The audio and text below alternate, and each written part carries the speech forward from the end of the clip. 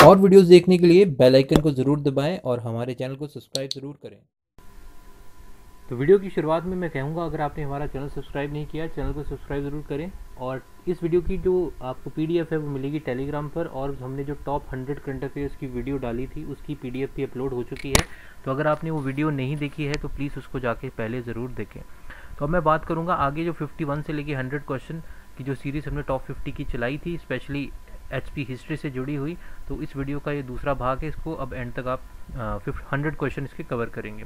आपको video section में जाना है और इस वीडियो का अगर आपने पहला पार्ट नहीं देखा है तो मैं आपको बताता हूँ, आप उस पार्ट को ज़रूर देख लीजिएगा। वो आपको काफ़ी इंपॉर्टेंट रहेगा।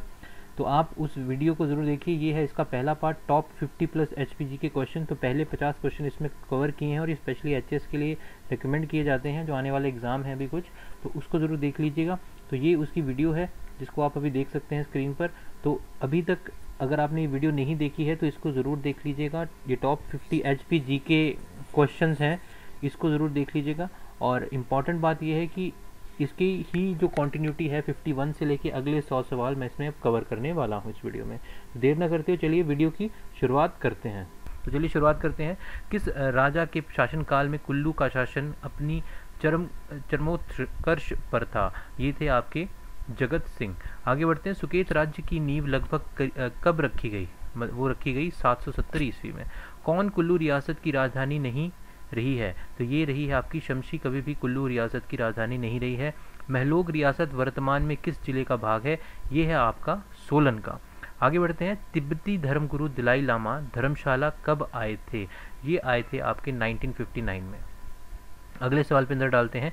जहांगीर ने गुलेर के किस राजा को बहादुर की उपाधि से सन सोलह सौ बीस ईस्वी में अलंकृत किया था। ये थे आपके रूपचंद को अलंकृत किया था।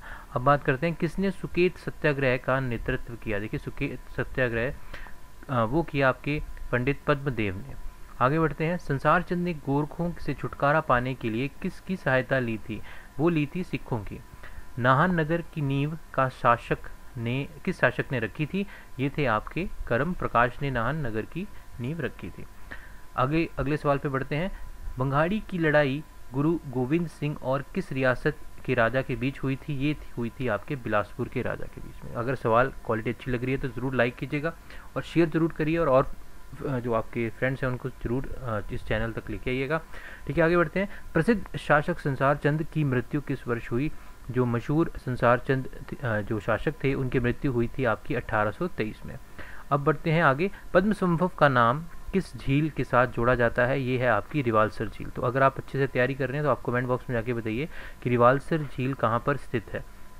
आगे बढ़ते हैं। धर्मशाला किस अंग्रेज़ गवर्नर जनरल वॉइस रॉय की समाधि है? ठीक है, ये है आपकी लॉर्ड एल्गिन।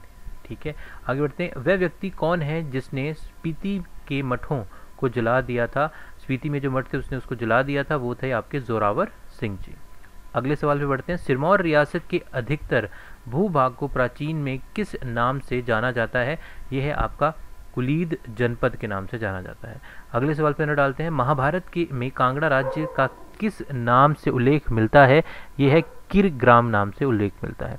मंडी राज्य की नींव लगभग कब रखी गई थी? ये रखी गई थी एक हज़ार ईस्वी में। अगले सवाल पर डालते हैं। कांगड़ा की राजवंशशाली में दसवां गुलेर डाडा सिवा बारहवीं, तेरहवीं, पंद्रहवीं शताब्दी में अलग अस्तित्व में आ गई। दतारपुर का चौथा और अंतिम राजघराना किस शताब्दी में अलग हुआ? तो ये अलग हुआ था सोलहवीं शताब्दी में। ठीक है? तो इसको ज़रूर याद है काफ़ी इंपॉर्टेंट सवाल है तो ज़रूर एक बार अच्छे से रिवीजन करके जाइएगा। वह शासक वंश जिसे ऋग्वेद में वर्णित कंठ का वंशज माना जाता है, वह कौन सा है? वह कांगड़ा के कटोज वंश को कहा जाता है। तो ये ज़रूर याद रखिए। अगले सवाल पे बढ़ते हैं। कालसी नेरी तथा राजबन किस रियासत या राज्य की राजधानी रही है? ये रही है मंडी की तो याद रखिएगा। आगे बढ़ते हैं। चंबा रियासत के संस्थापक राजा मेरू को किसका वंशज माना जाता है? ये माना जाता है सूर्य वंश तथा राजा रामचंद्र का वंशज। सिरमौर राज्य की स्थापना ग्यारह सौ पचानवे ईस्वी में राजा शुभ प्रकाश के समय हुई। उस समय सिरमौर की राजधानी क्या थी? वो थी आपकी राजबन। बीड़ किस राज्य की राजधानी रही है? ये रही है बंगाल की। आगे बढ़ते हैं।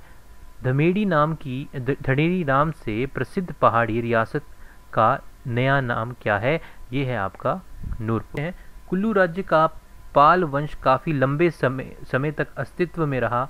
ये राजवंश कितने वर्ष तक अस्तित्व में रहा? ये रहा तकरीबन 1500 वर्ष तक। अगले सवाल पर डलते हैं, किस राज्य के संस्थापक के ब्राह्मण होने का आभास मिलता है? वो है आपकी बंगाल, ठीक है? जिस पे मैंने बताया था, बीड़ किस राज्य की राजधानी रही है, वो बंगाल। तो उसी से जुड़ा हुआ एक सवाल था। आगे बढ़ते हैं। पाणिनि के अष्टाध्यायी एवं विष्णु, व मार्कंडे पुराण में किसे उदम्बर राज्य कहा गया है? उदम्बर राज्य से सिरमौर के बारे में बताया गया है। बिलासपुर रियासत को ब्रिटिश साम्राज्य में कब मिला दिया गया था? ये अट्ठारह ईस्वी में मिला दिया गया था।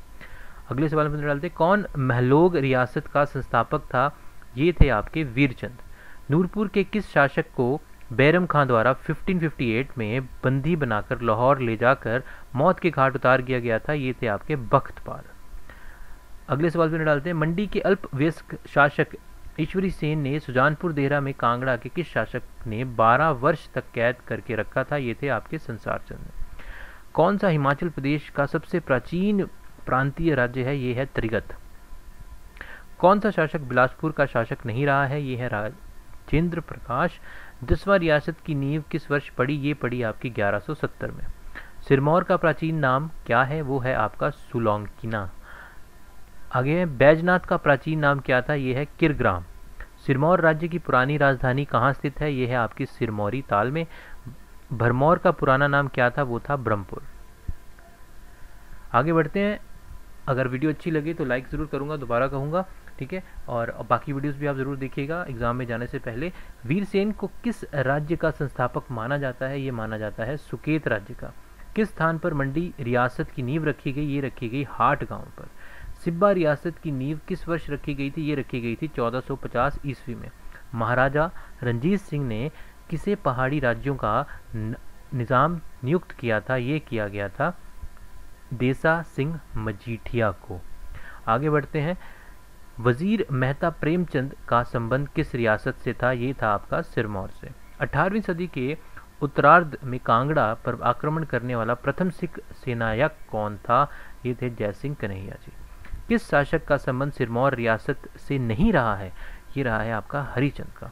नहीं रहा है जो? चंबा राज्य की स्थापना कब हुई थी? ये पंद्रह सॉरी पाँच सौ पचास ईस्वी में हुई थी। चीनी यात्रा हिंद स्वांग ने अपनी यात्रा वृतांत में हिमाचल प्रदेश के किस रियासत में क्या विस्तार से वर्णन किया है? ये है आपकी कुल्लूत के बारे में। आगे बढ़ते हैं। चंबा रियासत के उस शासक का नाम क्या था? जिसने अपनी बेटी के नए प्रेमी को वज़ीर के पद पर नियुक्त कर दिया था, ये थे आपके उदय सिंह ने। तो ये कुछ इंपॉर्टेंट सवाल थे, अगर आपने अभी तक पिछली वीडियो नहीं देखी है उसको देखिए टोटल आपके सौ सवाल बन जाते हैं, ठीक है? तो ये वीडियो अच्छी लगी है तो कमेंट बॉक्स में कमेंट कीजिएगा, और ऐसी वीडियोस चाहिए तो ज़रूर हमें शेयर कीजिए लाइक कीजिए, और अगर आपने हमें अभी तक जो टेलीग्राम है, वहाँ पर ज्वाइन नहीं किया है तो ज़रूर डिस्क्रिप्शन बॉक्स में लिंक रखा है, वहाँ जाइए और बहुत सारी वीडियो जो अपलोड हो चुकी हैं, उनकी पीडीएफ आपको मिल रही है फ्री और इस वीडियो की पीडीएफ जल्दी ही अपलोड होगी।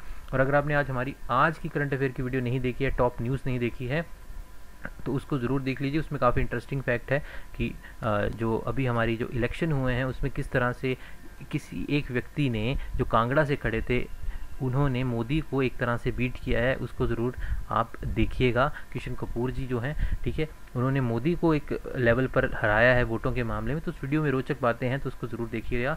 सो ये वीडियो कैसी लगी, ज़रूर बताइएगा। सो आज के लिए इस वीडियो में इतना ही। Thank you